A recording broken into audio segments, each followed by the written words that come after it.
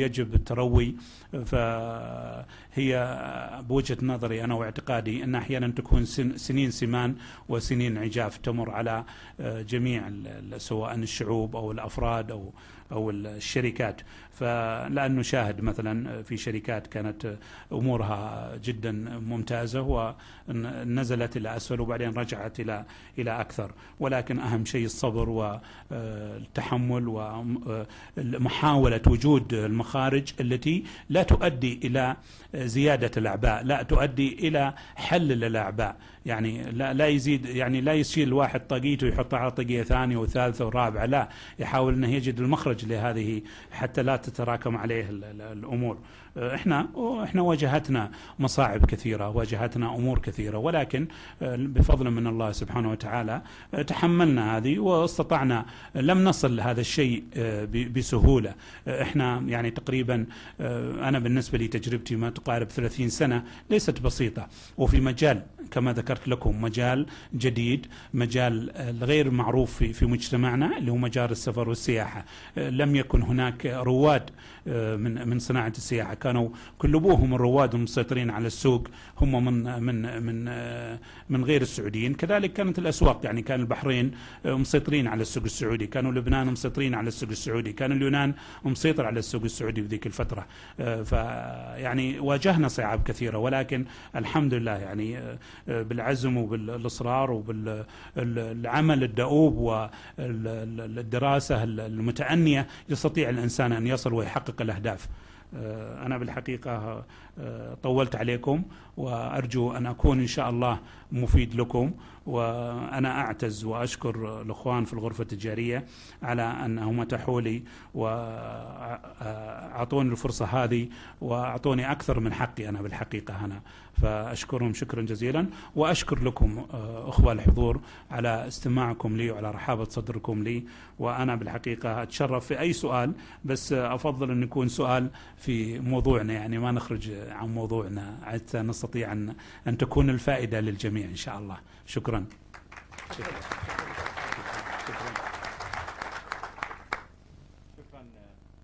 شكرا لضيفنا الكريم. والآن نبدأ بالأسئلة. أحاول أختصر بعض الأسئلة كثيرة في سؤال دكتور يقول هل لديكم إحصائيات عن متوسط صرف المسافر السعودي خارج المملكة؟ على صرفه؟ صرف المسافر السعودي إي نعم المتوسط إحنا ناخذها متوسط إحنا إحنا ناخذ ناخذ أرقام من من هيئة الطيران المدني اللي غادروا المملكة وناخذ عندنا إحنا في السياحة مثلا كم متوسط مثلا ياخذ إحنا المتوسط هو 10000 دولار إلى 12000 دولار صرف الفرد السعودي في في إجازته إذا سافر. عاد الفرد السعودي ممكن يسافر أكثر من مرة المسافر ولكن إحنا ناخذها كرحلة واحدة نعتبرها بين 10 ل 12 ألف دولار وهي اللي على أساسها نصرح لنا في الأرقام اللي نقول إن, إن, إن, إن, إن مصروف السياحة السعودية الخارجة 60 مليار بالسنة. فإحنا نجيبها تقريبا في هذه الطريقة. نعم شكرا. في سؤال يقول ما هي المجالات العملية والفرص التجارية التي تقترحها في مجال الاستثمار السياحي؟ والله شكرا هذا سؤال جيد. هي كثيرة هي بالحقيقة. الاستثمار السياحي عندي كثير في في الإيواء. الإيواء السياحي عدة كثير منها. أنا مثلا ذكرت لكم المخيمات مثلا. مثلا تنظيم الرحلات السفاري. لا ليست متواجدة في المملكة للأسف الشديد، ليس هناك جهات تنظم الرحلات السفاري اللي هي الرحلات للصحراء، لا ليس هناك إن أحد ينظم، صناعات اللي المملكة العربية السعودية مشهورة فيها ليست متوفرة. الآن إذا جانا إحنا مثلا وفود من خارج المملكة يعني أقول لكم إياها في مرارة نشتري صناعات صينية. نعطي لهم نقول لهم هذه سعودية هذه. ولكن هي لو كانت سعودية كانت أجدر وكانت أفضل. يعني موجود عندك في في في في مدن سعودية آه، لو لو كان هناك شاب سعودي إنه يشتري هذه الحاجات هذه ويسوقها على ذا وخاصه إن ال- ال- هيئة العليا للسياحة رخصت إلى عدة شركات سياحية لجلب سياح من خارج المملكة. وبالحقيقة يعني نفتقر إلى مثل هذه الحاجات هذه. آه، يعني إحنا مثلا يجينا وفد صيني جانا وفد صيني قبل فترة واحترنا إحنا. وش نعطي الصينيين؟ اعطينا شيء مكتوب عليه ميد ان تشاينا يعني آه، ما لقينا شيء. قلنا والله نروح نجيب لهم آه، كتيب مصور في صور عن المملكة العربيه السعودية. أقل شيء نعطيهم إياه. يعني هذا اللي اللي قدرنا نعطيهم إياه كهدية. والمفروض نعطي لهم آه، حاجة يعني من يعني الدلة مثلا الدلة اللي إحنا مشهورين فيها. صناعة صينية مثلا. ال كله يعني معظم الحاجات اللي جيت لقيتها وموجودنا عليها ميدن تشاينا فحتى سجاده الصلاه تجدها محطوطنا عليها ميدن تشاينا اللي إحنا نستخدمها. فكثير من الحاجات. ال- ال- من الفرص ال- ال- ال- ال- ال- ال- من فرص للسعوديين اللي هي عملية الترجمة مرافقة الوفود يعني يسمونه تور جايد وهيئة السياحة آه، فتحت المجال للترخيص للدليل السياحي، الدليل السياحي هذا فيه فلوس كثيرة، الدليل السياحي إنه ياخذ أماكن معينة، يجي ياخذ آه، مجموعة معينة، يزورهم وياخذ عليهم فلوس، آه، في الخارج المملكة ياخذ ياخذ على الشخص ياخذ على الشخص تقريبا 100 ريال، يعني إذا صار عنده 50 آه، شخص هذه 500 ريال يا جماعة، يعني ما هي بسيطة هي إذا أنه أخذ له كذا آه، group باليوم، يعني لو أخذ له جروبين باليوم بيطلع له 1000 ريال في اليوم. وهو مبسوط هو، رايح يوريهم محلات هو يوريهم وعارفها ويشرح لهم ويوريهم، يعني بقول لكم حاجة آه، يعني تحزن ذا، بعض بعض المرات إحنا نستعين في آه، غير سعوديين آه، في ال tour guide يعني لا ما نلقى سعوديين إحنا. نضطر نروح نجيب لنا واحد. هذا العاد المرشد السياحي ذا الغير سعودي يشرح لهم على حسب عاد آه، وش وش يبغى عاد. يمكن يشرح لهم عن ديرته ويحسبونه انه انه في في بلدنا هذه. آه، فيه فيه أكثر من من آه، أخ سأل نفس السؤال. يقول يعني هل لاسمكم الطيار سبب لاختياركم للسياحة والسفر؟ لا أنا قلت من أول الإنسان آه، آه، مسير وليس مخير. آه، الحقيقة لم لم يكن هذا هذا. هي جت من الله سبحانه وتعالى يعني هذه يعني جت بالصدفة يعني لم تجي لم لم أخطط لها يعني أنا ولم أضعها في في ذهني يعني. لكن ما ساهم الاسم بال؟ لا؟ ساهم الاسم ساهم ما في شك ساهم لأن هي جزء من من من النشاط اللي إحنا نسويه. ما ما, ما في شك هذا. نعم. فيه آه، اللي هي قصة شراء تسع طائرات هل ممكن نسمعها؟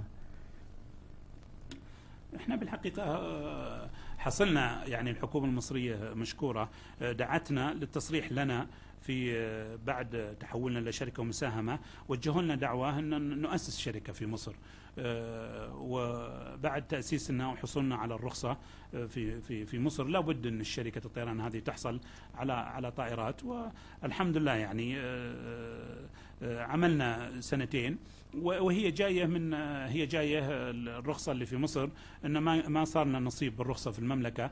فاستفدنا إحنا من ال- ال- الدراسات استفدنا من من المفاوضات اللي سويناها. كان من ضمن المفاوضات آه، مع الإيرباص ومع بوينغ. و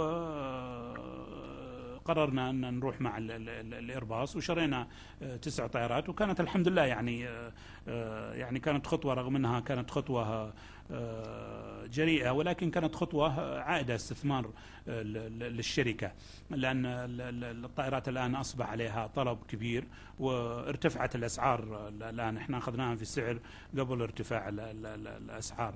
فكانت استثمار كذلك من الاستثمارات اللي إحنا غير مخططين لها وعادت بعائد على على الشركة.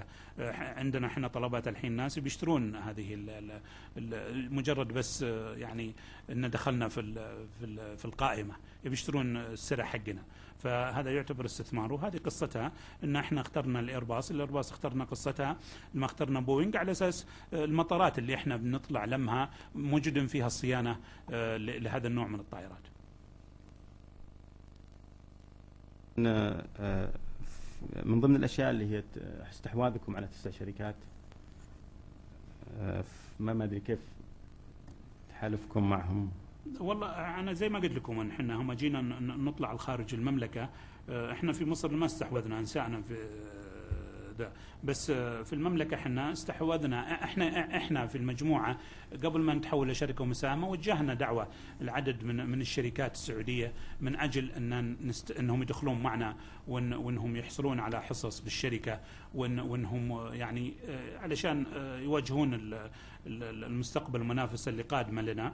آه، في بعض من الإخوان وافق على هذه الفكرة وفي بعض الإخوان لم يقبل هذه الفكرة. فإحنا استحوذنا تقريبا في السوق السعودي على تقريبا خمس شركات من السوق السعودي واستحوذنا في الخارج. آه، مثلا في ماليزيا. ماليزيا استحوذنا على شركة قائمة في ماليزيا آه، استحوذنا على 75% آه، في في أمريكا استحوذنا على شركة تقريبا 40% آه، في في دبي لا أنشأنا إحنا شركتنا بنستحوذ في في في في لبنان استحوذنا على شركة ب 75% وكذلك في الكويت اللي ذكرتكم 30% والكويت لدي عندهم شركات في في دول الخليج آه، حوالي عندهم آه، ثمان دول خل... ثمان دول غير دول الخليج عندهم في سوريا وعندهم في الأردن وعندهم في دول الخليج فهذه استحوذنا إحنا على تقريبا على 30% في ال- في المية منها. واستحوذنا على 30% من شركة جديدة الآن تبدأ إن شاء الله رحلاتها في سبتمبر في اليمن اسمها طيران السعيدة. تمتلكها الخطوط السعودية والخطوط اليمنية 25% والبنك التنمية الإسلامي يمتلك 45% وحنا نمتلك 30%. نعم شكرا. في سؤال يقول ما هي أسباب خسارة مكاتب السياحية في الوقت الحالي؟ إذا كانت تخسر. والله أنا أنا يعني يعني في مكاتب تخسر وفي مكاتب تربح. أنا اوعزها شخصيا للإدارة. آه، الإدارة ال- ال- ال- ال- الإدارة اللي تفهم عملها وتعرف آه، مقومات العمل وتعرف آه، تستطيع أن أن ان أن ان تستطيع أن ان أن تحقق النجاح ولكن الشركات التي ليست لها الإدارة ال- ال- ال- الناجحة تتعرض وأحيانا يكون سوء اختيار آه، آه، سوء اختيار إدارة يؤدي إلى ال- ال- الفشل هذه فيها، أنا وجهة نظري أن ال- الشركات اللي اللي اللي خسرانة هي اللي داخلة ليست صناعتها.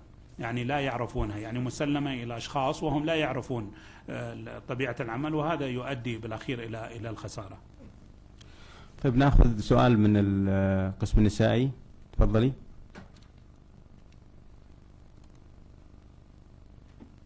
السلام عليكم. إيه تفضلي.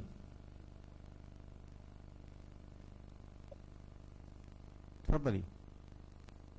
السلام عليكم. وعليكم السلام.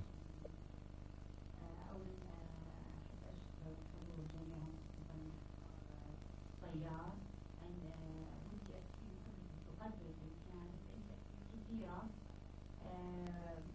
تصورون بالكم عليها أول سؤال اللي هو طبعا خبرتك وتجربتك طبعا تأثرت بالوسط وسط التجربة صح ولا لا؟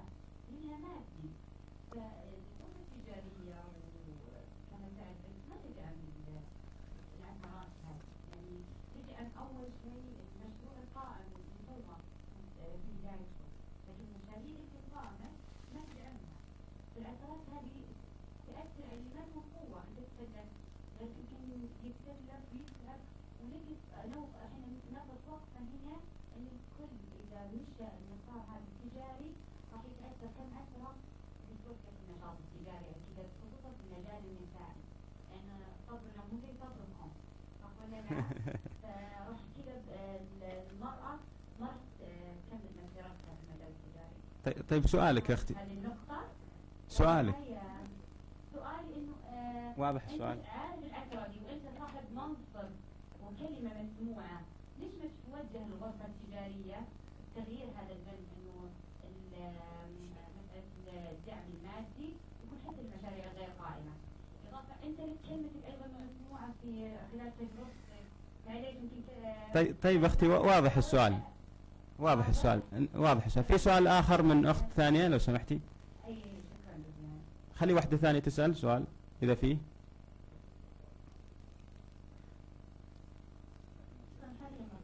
طيب شكرا.